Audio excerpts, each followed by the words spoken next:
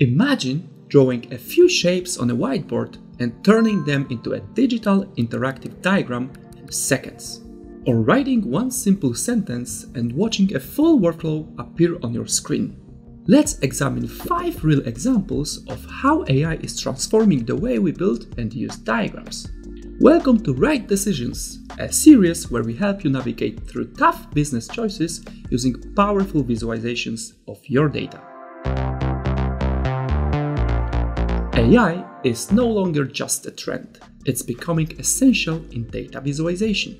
Recently, in our research on AI in diagramming, we asked data visualization experts how they see the future of smart diagrams. They agree that AI makes it easier and quicker to create, understand, and update diagrams even without technical skills. Traditional drag and drop diagram interfaces are still convenient and easy to use, but AI opened new ways to speed up work and handle more complex projects.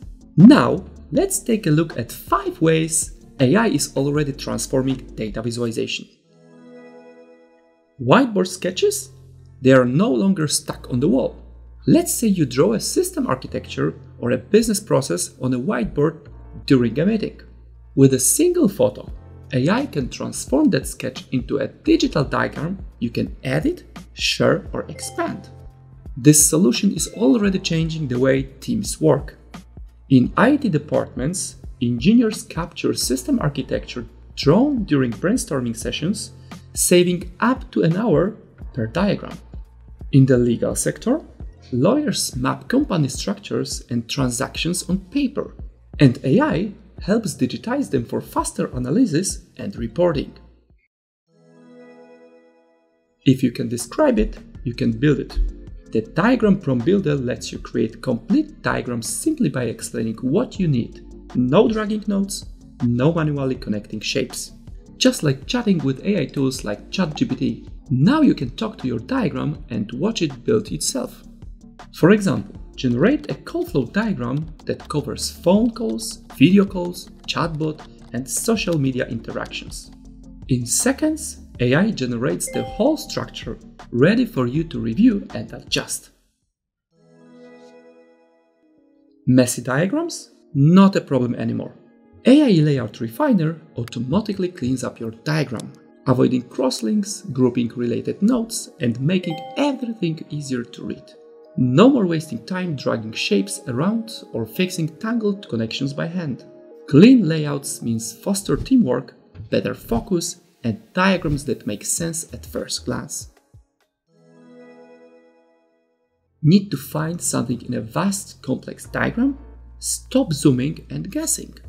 With AI Search Assistant, you just ask, and the diagram shows you exactly what you need. For example, if you ask the AI to find all nodes that have less than 5 children, it will highlight them in seconds. No endless clicking, no getting lost, just quick answers right at your fingertips. Diagrams aren't just for showing ideas. Now they can build real processes. With AI, your diagram becomes the blueprint for action workflows, automation, smart agents.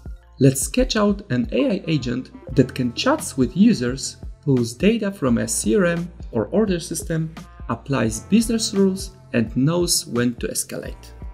AI will turn this diagram-based process into a fully functional agent, ready to act, connect systems, and make decisions within set constraints. AI is powerful, but without a structure, it's just potential. Diagrams give AI direction, helping you design, automate, and launch processes without writing a single line of code. AI is reshaping how companies design, automate, and scale their operations. The real question isn't if AI will change your workflow, it's how fast you adapt. Experts we spoke with agree that teams that use AI to work faster eliminate manual tasks and make better decisions will achieve the best result.